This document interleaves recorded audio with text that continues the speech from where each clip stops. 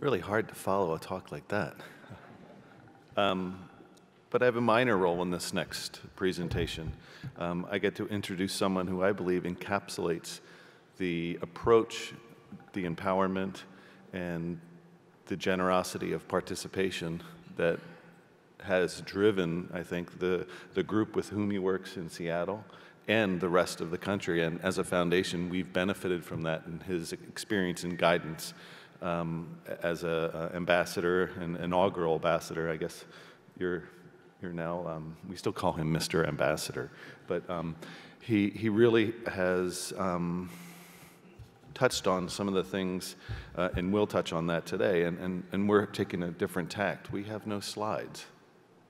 We're going to have a, a brief introduction by me, and then I would like Mr. Dave Sherry to, to tell you how he's approached his diagnosis and the empowerment which has allowed him to, to live his journey and, and hopefully share the experiences that, that allow him to, to um, go day to day. But um, I was taking ample notes, Bray, when you were talking. This is my notebook here. And I was thinking about how each and every of these words um, typify Mr. Sherry.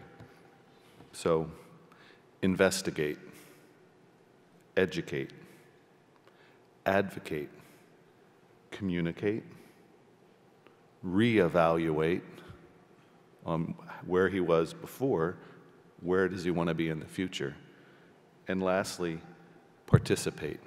So it's my great honor to introduce Mr. Dave Sherry.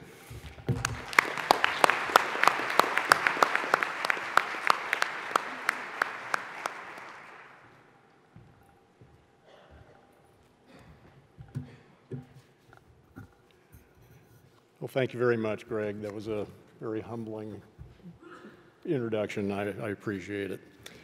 Uh, so good morning, everybody. Um, my name is Dave Sherry. I am a pulmonary fibrosis patient, and I have no disclosures.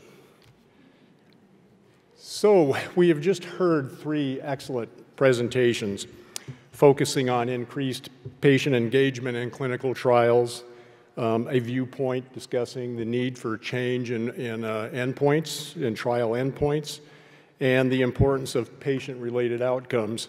And, uh, and so for this last presentation of the series, I've been asked to give a patient's perspective on participating in clinical trials. Uh, since the theme is empowering patients to participate, I will primarily be addressing patients in the audience in particular those who have never been in a trial, and uh, also those who may be considering um, a trial for the first time. So I'll relate to you the experience I've had with three different clinical trials, what motivated me to participate in these trials, and, and what my expectations were um, for, for getting something out of the trial prior to the trial start. And I hope uh, my experience will answer some of the questions that perhaps you have and concerns that you might have about participation in a trial um, going forward. So before I begin, though, I just uh, give you a little bit of my background. Um, I um, live in the city of Snoqualmie, Washington. It's about 25 miles due east of Seattle, and I was diagnosed with IPF in 2006.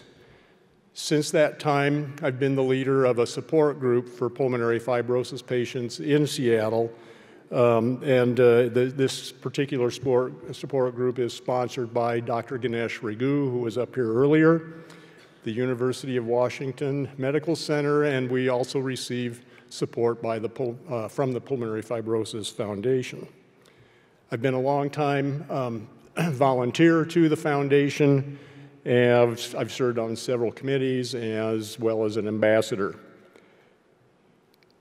So my experience with trials started almost immediately after my, my diagnosis in 2006. Um, first, I was very fortunate that my initial diagnosis was made by a local pulmonologist who had actually been a student under Dr. Raghu and uh, to whom I was immediately referred uh, after my diagnosis. so after making uh, the referral, my pulmonologist uh, told me that Dr. Raghu was doing some work with a drug called pirfenidone uh, for the treatment of IPF and that he thought I might be a good candidate for this study. So during one of my first clinic visits with uh, Dr. Raghu, we discussed the possibility of me entering into this trial. Uh, unfortunately, due to some nuances in my, my particular diagnosis, I wasn't eligible for it. And so having been first diagnosed and had got my hopes up a little bit, I was obviously disappointed. I came to understand, though, that uh, a, kind of a building learning period for me on clinical trials, and uh, this first learning point was, well, there are exclusion and inclusion criteria. They may not make sense to me right now, but from what I do know now about trials uh, and how they're constructed, um, my experience back in 2006 was obviously something I just had to accept. So my next uh, clinical trial opportunity came fairly quickly as the uh, medical center uh, the, where my clinic is um, was a study site for a drug already approved and already on the market for the treatment of pulmonary hypertension. And uh, this study had the hypothesis that this same drug would also help pulmonary I IPF patients. So I was accepted into this study, and it began after the study coordinator walked me through a very comprehensive information and consent packet. Included in, in that uh, long conversation was the study intent, the procedures, the risks, as well as the voluntary nature of the study and the right a patient has to withdraw at any time. Some kind of important facts, I think, that uh, need to be um, paid attention to as you go into a study. So this particular trial was a double-blinded, placebo-controlled study with one group of, of subjects receiving the actual study drug and the remaining group receiving the placebo. For those of you new to clinical trials, um, double-blinded means that the study sub, neither the study subjects nor the coordinators know exactly who will be getting the drug or who will be getting the placebo. And the reason for this double blinding is to eliminate any bias which could affect the outcome of the trial. One of the potential side effects for this particular drug was for abnormal liver functions, um, consequently, every study subject was um, required to have periodic blood draws uh, to check for any issues. In my case, after a few weeks, my liver enzymes started rising, and in response, the uh, study protocol called for a decrease in the dosage of, of whatever it was I was receiving, the placebo or the drug. Um, and while liver, uh, high liver enzymes can be a serious health problem, um, the reduced dosage that I, I, went to actually brought my mine down into an acceptable range. So what, what this meant to me at that time was it, it confirmed, at least in my mind, that I was getting the study drug. Um, and when I asked my study re, uh, coordinator about it, she said, well, I don't know if that's true or not. And uh, even if she had known, um, she wouldn't have been able to tell me anyway. And she wouldn't even, I, I, just asked her, well, what do you think? And she said, I'm just not going to speculate. So the uh, study ended after me being in it for about a year, and uh, it was determined that this particular drug did not have any significant effect for the treatment of IPF. Lung functions were essentially unchanged. Again, I was disappointed, but I, I rationalized the outcome as uh, knowing that every, every step or every study that ended with a, a, a negative outcome was just one step closer to a drug that would eventually positively treat IPF patients. So my next clinical trial after that experience occurred in the year 2012 and on into 2013. Uh, keeping abreast of the drug development pipeline is something that I started doing frequently after my initial diagnosis. And in fact, um, this is something that I have found, uh, the, you know, keeping track of the drug development pipeline, it's something of a very high interest uh, amongst my support group members as well as other patients that I've come to know. And during one of my reviews of the clinicaltrials.gov website, a drug caught my attention due to reports that in a lab setting, um, some reversal of lung fibrosis had been noted. And so to me, that was a pretty remarkable finding. So I started exploring the idea of applying for this, this particular study. Uh, the study was a phase two open label where all subjects received uh, the, the, drug, the, the, study drug ad administration. Um, the drug was actually administered through infusion every three weeks for a period of 48 weeks. Unfortunately for me, the nearest study site for this, uh, this trial was in Salt Lake City, which is about an hour and a half flight from Seattle. However, this study really interested me, and I, and I felt that it, it, would be a really big step forward in treatment for IPF patients should it be approved. So I looked into the logistics and the cost of participating and decided to apply. The biggest factor that really influenced me in making that decision was, was that there was no placebo. Everybody was receiving this drug.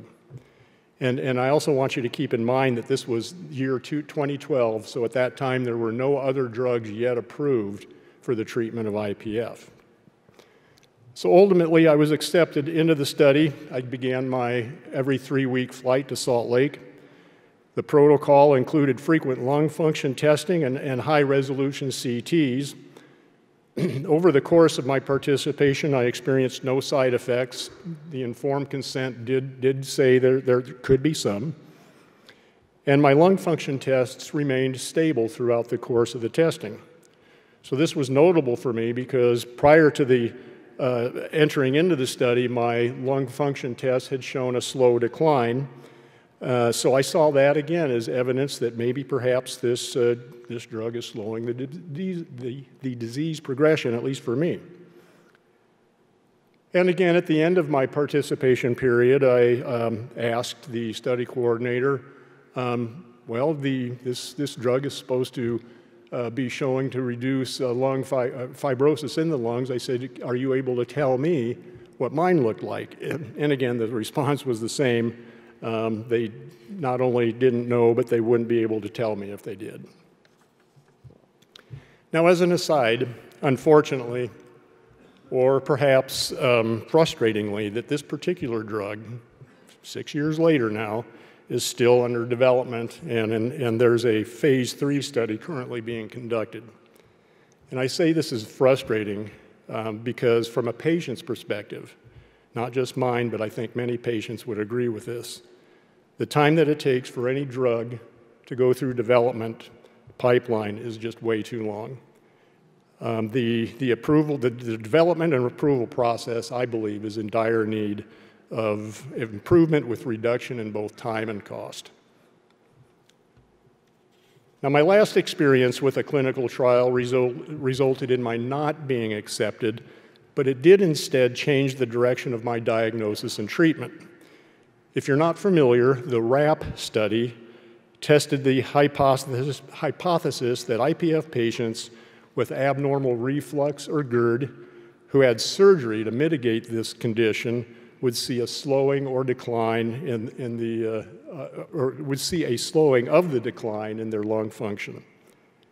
While being evaluated for this particular study, it was discovered I had a condition which I was told was an indicator of autoimmune disease. Uh, further testing confirmed that, and my diagnosis was subsequently changed from IPF to a uh, autoimmune connective tis tissue disorder. my treatment also changed, um, including immunosuppressant and anti-inflammatories. And uh, since that time, uh, and that, that's been about five years now, uh, again, my, my lung function tests have remained essentially stable. So at this time, the, the, point that I would like to make is one of the things that I think is a, a, a benefit from participating in a clinical trial.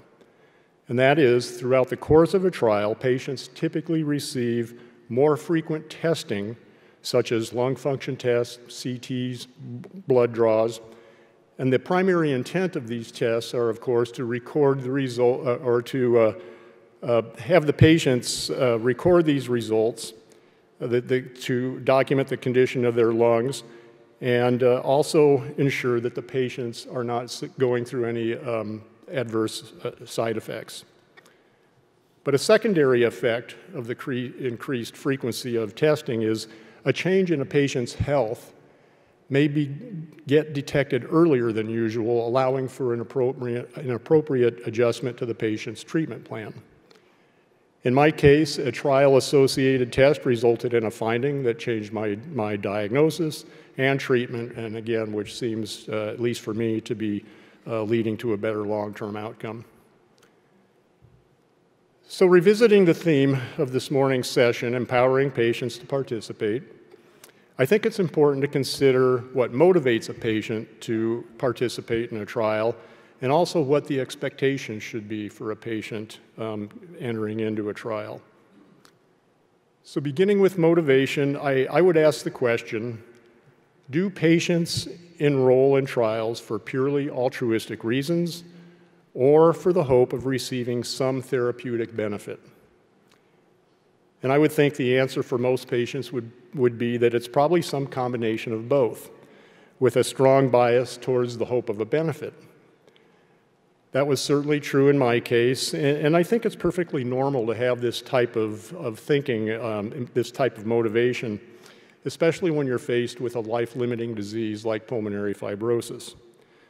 But I'll also say that I think most patients soon come to understand the, the need and the value of participating in clinical trials beyond what personal benefit that they might receive. Which then leads us to expectations. So, first, it must be understood that a clinical trial is an experiment with no guarantees. If a patient enrolls in a trial with the expectation that they'll get better, they're setting themselves up for disappointment. Being realistic about what to expect is important. So, why participate in a trial? Well, the National Institutes of Health offers these following points. First, you may get treatment, new treatment for a disease before it's available to everyone else. Now, this kind of speaks for itself, but again, there's no guarantees. Second, you play a more active role in your own health care. And, and this point I can't really overstress. As a support group leader for the last 10 years, you know, I can attest to the positive effect patients receive by being actively involved in their own health care. And by this, I mean seeking education about their disease, not being afraid to have open and frank conversations with their healthcare providers, joining a support group, and yes, participating in clinical trials. The third point, which I've already really mentioned, is that participating in trials um, may provide you with medical care and more frequent health checkups as part of your treatment while, while participating in a trial. And lastly, you may have the chance to help others get better treatment for their health problems in the future. And this point actually comes up fairly frequently with, within our support group discussions. A great many of us patients have children and grandchildren, and some of us also have the familial form of IPF that affects multiple family members. All of us want to see a future where our family and friends will be free from worry about pulmonary fibrosis in all its forms. And clinical trial participation is a great way to help make that happen. But what it really comes down to is this with no patients, there's no clinical trials. With no clinical trials, there's no new drugs. With no new drugs, there's no hope. So, for you patients in the audience, if you have not yet enrolled in a trial, I ask that you give it serious consideration.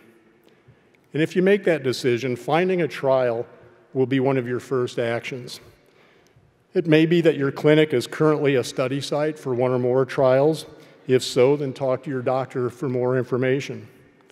If not, the, the Pulmonary Fibrosis Foundation website has a section titled Clinical Trials Education Center. And this is a great place where you can learn more about trials just in general, find out what drugs are in the current pipeline, and, and even find a trial that is near you for which you may be eligible.